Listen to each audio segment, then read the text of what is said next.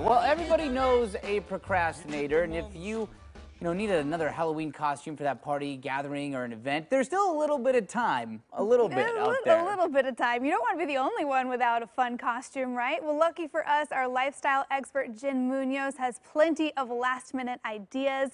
She is here with us this Halloween Eve Eve to help us get ready. Jen, good morning. Happy almost Halloween.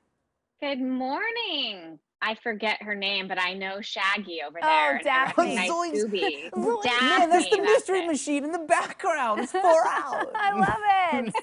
You're ready for our, our crew. Okay, so uh, for anyone who has missed the boat on the online costumes, the store is sold out. What do we do to pull something together kind of fast? So, you know, there's a whole host of things you can do, and a lot of the stuff is right inside your closet or closets in your house. So, the first is, you know, whether you have a dress up bin or a costume closet, or you've recently hosted a party where you had like photo booth props, you can pull those out and put a costume together. So, all those hats, glasses, gloves, jewelry. Um, you can do the classic ghost with your sheet. You know, that used to be an old go to for everything Mhm. old is new again. Um, you can also use a sheet for your dogs or to make a mummy. Um, so those are some great ones for littles and bigs. Um, you can also pull out like a white coat and become a chef or a doctor.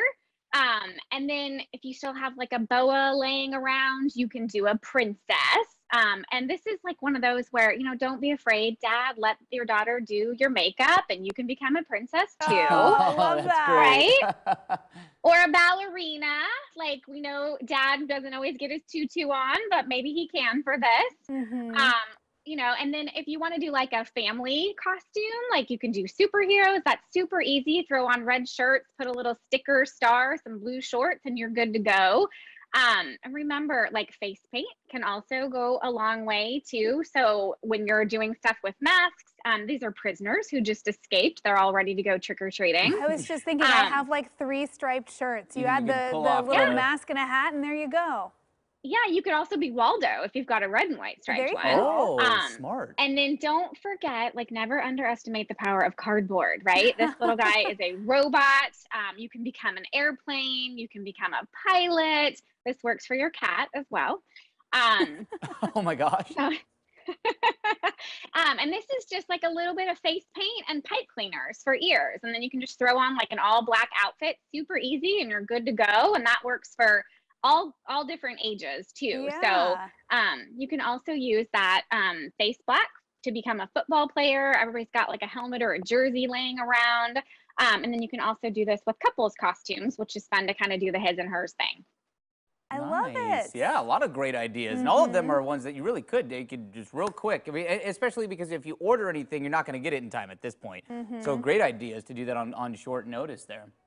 And, you know, I, I have some friends with some pretty big holiday closets that would probably come in handy too. I think that's one. Maybe see if the neighbors can help you out on something if there's just like one thing you need.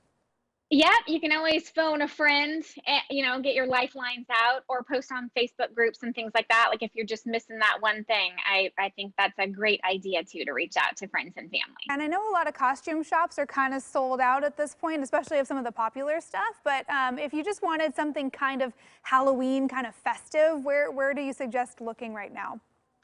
You know, so for me, like I wasn't really in the mood for a costume. So I hit my TJ Maxx and Marshalls, and they've got a lot of great skull merchandise. So Mm. I'm feeling the Halloween spooky vibe, Oh, but there I don't go. have on necessarily a Halloween costume. And they also have things like this is a handbag that just has like a skull print on it. So Oh, that's, that's super fun. spooky. Yeah. Right? Well, and I like Yeah. both of those because they're not like overtly Halloween. You know, you could use them kind of the rest of the fall and just make it not not as spooky season. You know. Mm, Right.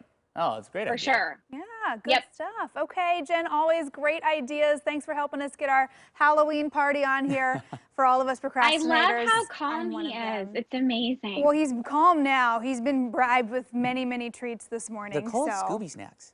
Um, yes, that's I, right. Scooby I, you know what? Look, I got you. Like Yeah. Oh, nice. We got those. We got Oh. those Scooby snacks. Oh There my you gosh, that go. is so We great. love it. What do yeah, you see, he think, perked up. Scoop? We heard that. Yeah, someone just came in the studio, so Oh, now he's got to go check it out. Oh, all right. Oh, it's a mystery. check it out. Oh yeah, go investigate. Okay. All right. All right, Jen, have a great Halloween. Thank you for being here this You morning. You too. Thanks, so guys. You were much. great. Happy Halloween. Oh. And of oh. course, if you want to look back at Jen's tips, we're going to share it on our socials. So check us out. We're on YouTube, Facebook, Instagram, all that stuff. Yeah.